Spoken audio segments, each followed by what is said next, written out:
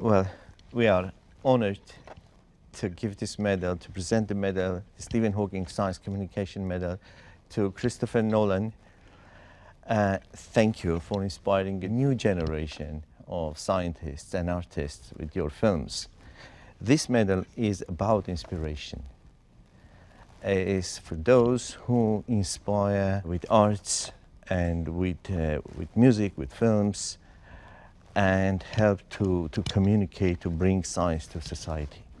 Because we are scientists, we respect science, but we want everyone to respect science. We want everyone to, to promote science, and we know that many artists do that. They respect and they like science and they promote science. So this medal is for those, and thank you, Christopher. You have been doing this for many, many years. We know that, we appreciate this. And I'm really honored to present the Stephen Hawking Medal for Science Communication to you. Well, thank you very much. Um, and uh, I'm sorry I can't be there in person, but, but thank you to Starmus. Uh, thank you, Garik. Uh, this means a lot to me.